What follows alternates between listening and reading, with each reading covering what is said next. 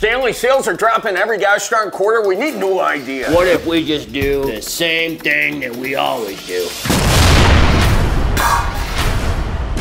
That's it. We are done watching you drive this company into the ground. Move out of the way. Take cover, Todd. We need new ideas. We need innovation. We need Female consumers. Okay, how big should it be? 16 ounces? Bigger. 24 ounces? Bigger. 40 ounces.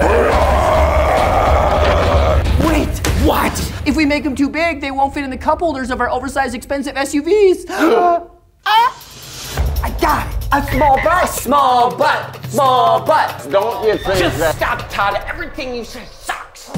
Sucks. We'll add a straw. No, honey, I really think that you Stop it, Stanley. We will handle this. Yes. Let's handle it. Add a handle.